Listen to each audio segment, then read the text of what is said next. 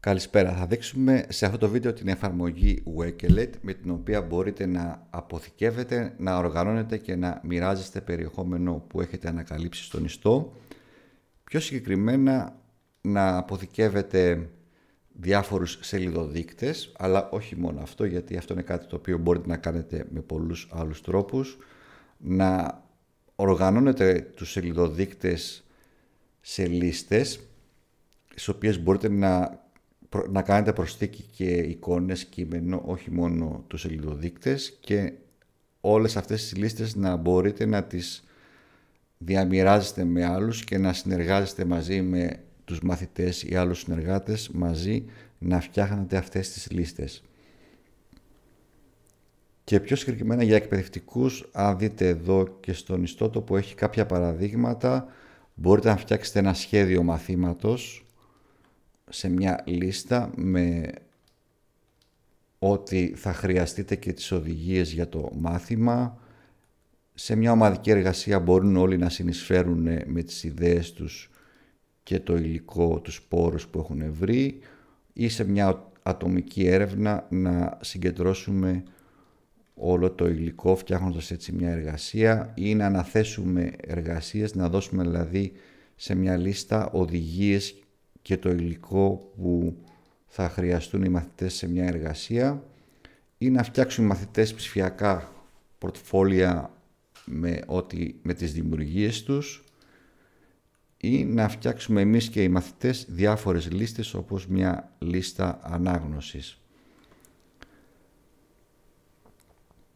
Θα πρέπει να κάνετε εγγραφή στην εφαρμογή μία φορά. Μπορείτε να κάνετε εγγραφή με λογαριασμό Google. Εγώ ήδη έχω συνδεθεί λοιπόν.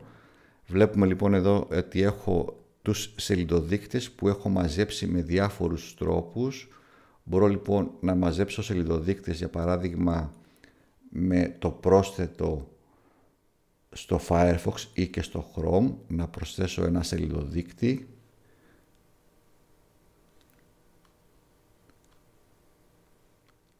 μπορώ να το βάλω κατευθείαν σε μια συλλογή ή στις, απλά στους σελιδοδείκτες. Να κλείσω λοιπόν, να δω τώρα αν έχει αυτό εμφανιστεί. Μόλις λοιπόν εμφανίστηκε ως σελιδοδείκτης. Και είναι πολύ χρησιμοποιής αν έχετε την εφαρμογή στο κινητό, μπορείτε να κάνετε διαμοιρασμό ό,τι περιεχόμενο έχετε ανακαλύψει για παράδειγμα έναν ιστότοπο με τη λειτουργία του διαμοιρασμού. Εδώ κάτω π.χ. στη δική μου περίπτωση μπορώ να το στείλω αυτό να το αποθηκεύσω στο Wakelet νομίζω το έχω ήδη κάνει. Και όλα αυτά λοιπόν όλοι αυτοί οι σελιδοδείκτες θα συγχρονίζονται μεταξύ των συσκευών μου είτε είναι σε κινητό. Πατάω λοιπόν εδώ bookmarks για να πάει στα bookmarks. Μπορούσα να το βάλω και σε συλλογή αν είχα ήδη φτιάξει μια συλλογή. Νομίζω θα εμφανιστεί εδώ πάλι. Το έχω ήδη βάλει όμως λίγο πριν.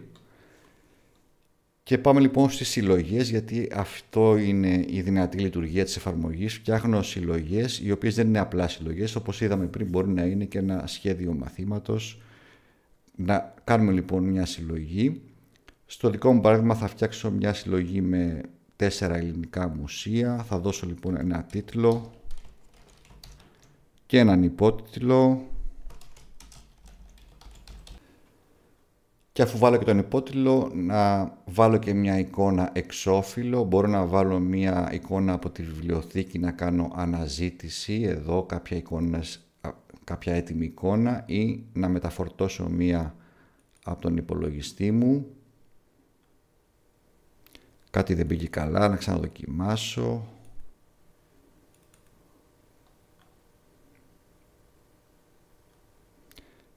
Και αν θέλω ορίζω την εστίαση, το αφήνω όπως είναι.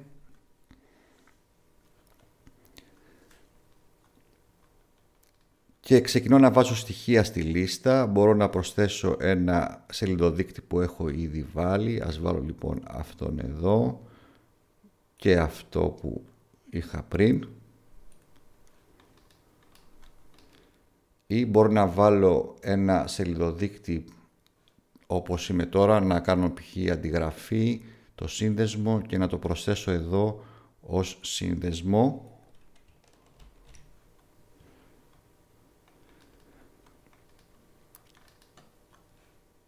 Όπως θα δείτε μπορώ να βάλω και ένα βίντεο στο YouTube. Να κάνω λοιπόν αναζήτηση να γράψω για το Μουσείο της Ακρόπολης. Ας βάλω αυτό το βιντεάκι για παράδειγμα. Και κάθε στοιχείο της λίστας αν κάνω επιλογή εδώ μπορώ να το πάω λίγο πάνω ή εντελώς να το πάω στην κορυφή και να το μετακινήσω μετά λίγο πιο κάτω. Και κάπως έτσι φτιάχνω τις λίστες, μπορώ να προσθέσω όμως όπως βλέπετε και εξτρά κείμενο, ας το δούμε λίγο αυτό. Να βάλω ακόμα ένα σύνδεσμο που ήθελα να βάλω. Και ας πούμε ότι αυτό το κείμενο θέλω να το προσθέσω να είναι σαν ξεχωριστό κείμενο από κάτω βλέπουμε λοιπόν μπορώ να βάλω κείμενο και να το μορφοποιήσω με μια απλή μορφοποίηση που μου προσφέρει. Να σβήσω εδώ κάποια κενά να κάνω αν θέλω μια μορφοποίηση. Και κάπως έτσι λοιπόν φτιάχνω τη λίστα μου. Μπορώ να προσθέσω αν θέλω και μια εικόνα ή ένα αρχείο και αν θέλω να αλλάξω τη δομή το layout έχει διάφορους τρόπους εδώ πέρα εμφάνισης της λίστας Ας το αφήσω λοιπόν έτσι και να ορίσω να είναι αν θέλω η δημόσια ή να μπορούν να τη βλέπουν μόνο όσοι έχουν το σύνδεσμο. Unlisted, θα την κάνω εγώ δημόσια, να την αποθηκεύσω, done. Και είναι έτοιμη η λίστα μου, μπορεί να τη δει κάποιος εδώ με το κουμπάκι share να τη γράψω το σύνδεσμο. Να δούμε πώς θα τη βλέπει κάποιος που θα έχει το σύνδεσμο. Και εδώ να δείξω μια πολύ καλή λειτουργία έχει εφαρμογή όταν έχουμε ένα κείμενο που βάζουμε εμείς μπορεί να το κάνει σε ηχητική μορφή. Το Εθνικό Αρχαιολογικό Μουσείο είναι το μεγαλύτερο μουσείο της Ελλάδας και ένα... Όπως βλέπετε με μια έτσι πολύ καλή φωνή και μπορεί να ρυθμίσει τη φωνή και την ταχύτητα ή να είναι και αρσενική η φωνή τον προορισμό να δεχθεί το σύνολο των ευρημάτων. Και να επιστρέψω λοιπόν πάλι, έτσι μοιράζω τη συλλογή μου σε άλλους, μπορώ να την αποθηκεύσω και σε PDF, θα πάρει κάποιο χρόνο. Τώρα δούμε πώς γίνεται η συνεργασία, δηλαδή να μπορούν οι υπόλοιποι να προσθέτουν και αυτοί να επεξεργάζονται τη συλλογή. Αυτό γίνεται με το invite, μπορώ να προσκαλέσω είτε με όνομα χρήστη της εφαρμογής ή με email ή να έχω το σύνδεσμο αυτόν το link code, εδώ να κάνω λοιπόν αντιγραφή αυτό το σύνδεσμο και μπορεί οποιοδήποτε χωρίς να έχει καν λογαριασμό στην εφαρμογή να μπει και ανώνυμος αν θέλει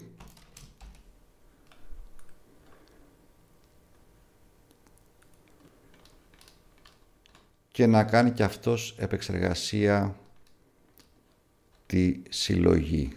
Δηλαδή μπορεί να γράψει και αυτός κάτι. Άρα είναι πολύ χρήσιμο αυτό. Όχι URL, text ήθελα να βάλω εγώ. Εδώ ας βάλω ένα κείμενο. Να αποθηκεύσω. Να επιστρέψω στη δικιά μου.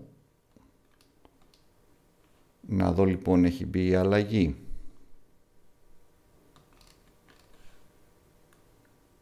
να έχει μπει εδώ το κείμενο που μόλις έβαλε ο χρήστης ή αν θέλω μπορώ να διαμοιράσω με QR code ή μόνο με τον κωδικό, εδώ αυτόν τον κωδικό και να όποιος θέλει λοιπόν από το Wokelet να πατήσει εδώ Enter Code και να κάνει Join